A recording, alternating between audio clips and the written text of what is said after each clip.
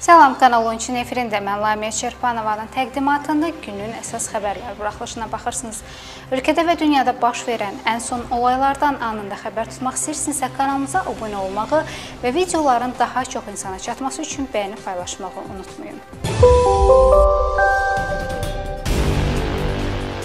Prezident İlham Əliyev işğaldan azad edilmiş ərazilərdə Azərbaycan Respublikası Prezidentinin xüsusi nümayəndələri haqqında fərman imzalayıb. Sənədə əsasən işğaldan azad edilmiş ərazilərdə Azərbaycan Respublikası Prezidentinin xüsusi nümayəndəlikləri təsis edilib. Sənəd işğaldan azad edilmiş ərazilərin dirçəlişi istiqamətində quruculuq, bərpa və yenidən qurma işlərinin sürətləndirilməsi, bu hədəfə nail olunmasında dövlət orqanlarının və digər təşkilatların əlaqələndirilmiş fəaliyyətinin gücləndirilməsi habelə idarə etmədə çevikliyin və səmərəliliyin artırılması məqsədi ilə imzalanıb. Azərbaycan Respublikası Prezidentinin xüsusi nümayəndəliklərinə Azərbaycan Respublikası Prezidenti tərəfindən vəzifəyə təyin və vəzifədən azad edilən və birbaşa Azərbaycan Respublikasının prezidentinə tabe olan Azərbaycan Respublikası Prezidentinin xüsusi nümayəndələri rəhbərlik edirlər. Müəyyən edilib ki, xüsusi nümayəndə Azərbaycan Respublikası Prezidentinin müəyyən etdiyi ərazi hüdudlarında Azərbaycan Respublikasının Azərbaycan prezidentini təmsil edən vəzifəli şəxsdir. Xüsusi nümayəndə Azərbaycan Respublikası prezidentinin müəyyən etdiyi ərazi hüdudlarında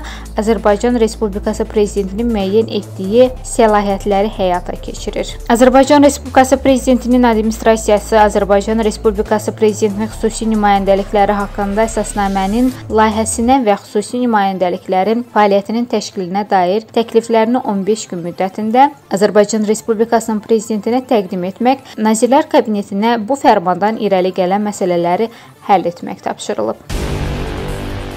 Azərbaycan Respublikasının işğaldan azad olunmuş Kəlbəcər rayonunun işğal zamanı Drombon adlandırılmış Heyvalı kəndindəki ermənilər yolu bağlayaraq Azərbaycanın yük maşınlarından ibarət kolonnunun qarşısını kəsməklə etiraz aksiyası keçiriblər. Bu haqda erməni nəşrləri məlumat yayıb. Rusiya sülh məramlıları kontingentinin nəzarətində qalan Heyvalı kəndinə rus hərbiçiləri yeridilib.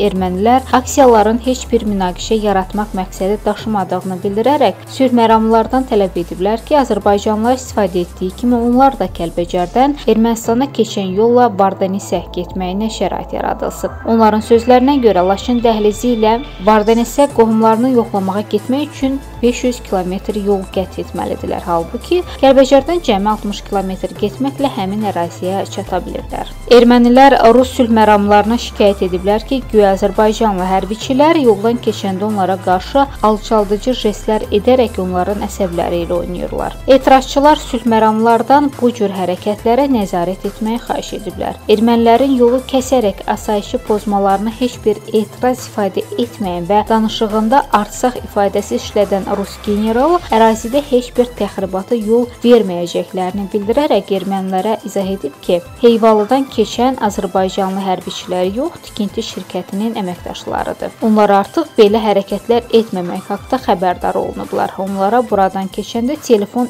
işlətməyi belə qadağan ediblər. Rus general əlavə edib ki, o ermənilərə gec-tez Sovet dövründə olduğu kimi Azərbaycanlılarla dinc yanaşı yaşayacaqlarını izah edərək yaşasın Sovet İttifaqı söyləyib. Yolun açılmasına gəlincə isə general bunun onun səlahiyyətləri çərçivəsində olmadığını bildirib, amma məsələni mütləq yuxarı qurumlara çatdıracağına da söz verib. Azərbaycan torpağında 30 ilə yaxın qanunsuz məskunlaşmış ermənilər isə problemin həll olunmayacağı təqdirdə bu cür aksiyaları təkrar keçirəcəklərini bəyan ediblər. Koronavirus infeksiyasının geniş yayılmasının qarşısını almaq məqsədi ilə ölkədə tətbiq edilən sərt karantin rejiminin tələblərinə uyğun olaraq bütün kütləvi tədbirlər və toplantılar qadağan edilib. Bunu nəzərə alaraq bu il 20 yanvar ümumxalq hüzün günü ilə əlaqədar Şəhidlər Xiyabanına vətəndaşların ziyarəti əvvəlki illərdən fərqli təşkil ediləcək. Daxili İşlər Nazirliyindən verilən məlumata görə xiyabana gəlmək istəyən ziyarətçilər mütləq qaydada tibbi maskadan istifadə etməli və sosial məsafənin qorunması üçün 5 nəfərdən artıq qruplarda toplaşmamalıdırlar. Ona görə də vətəndaşlar xiyabana 5 nəfərlik qruplarla daxil olacaq və dayanmadan ziyarətlərini başa vurub ərazidən çıxacaqlar. Xiyabanın daxilində və kənarında insanların toplaşması yol verilməzdi. Ziyarətə gələnlərin təhlükəsizlik hərəkətini təmin etmək məqsədi ilə Şəhidlər Xiyabanı istiqamətində olan küçə və prospektlərdə nəqliyyatın hərəkəti məhdudlaşdırılacaq.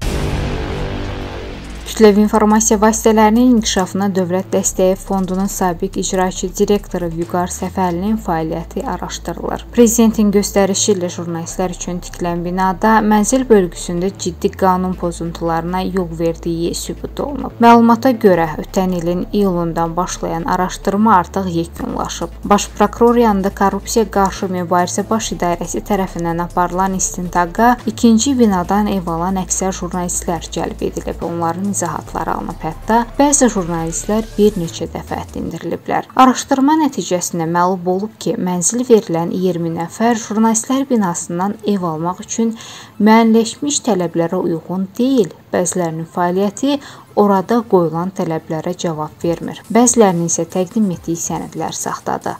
Məsələ ilə bağlı sənədlər toplanılıb və aidiyyəti qurumlara təqdim olunub. Saxta yolla əldə edilən mənzillərin geri alınacağı gözlənilir. Məlumat üçün bildirək ki, qaydaya görə mənzil almaq istəyən jurnalist ən azı son 3 ildə fasiləsiz fəaliyyət göstərən kütləvi informasiya vasitəsi komissiya tərəfindən müəyyənləşdirilmiş şərtlərə uyğun olaraq Bakı şəhərində fəaliyyət göstərən əməkdaşlarının namizədliyini irəli sürə bilərdi. Şərtlərə əsasən televiziya və radio yayımçılarının 10 gündəlik qəzetlər və informasiya agentliklərinin 6, həftəlik qəzetlər, jurnallar, xəbər portalları və saytların isə 3 namizəd müəyyənləşdirə bilmək imkanı vardır. Namizədliyi verilən KİV əməkdaşı həmin redaksiyada ən azı fasiləsiz 3 il, KİV-lərdə isə ən azı fasiləsiz 10 il fəaliyyət göstərməli idi. Adları Mətbuat Şurasının qara siyahısına daxil edilən, barələrində məhkəmə qərarı olan və qanunvericiliyin tələblərini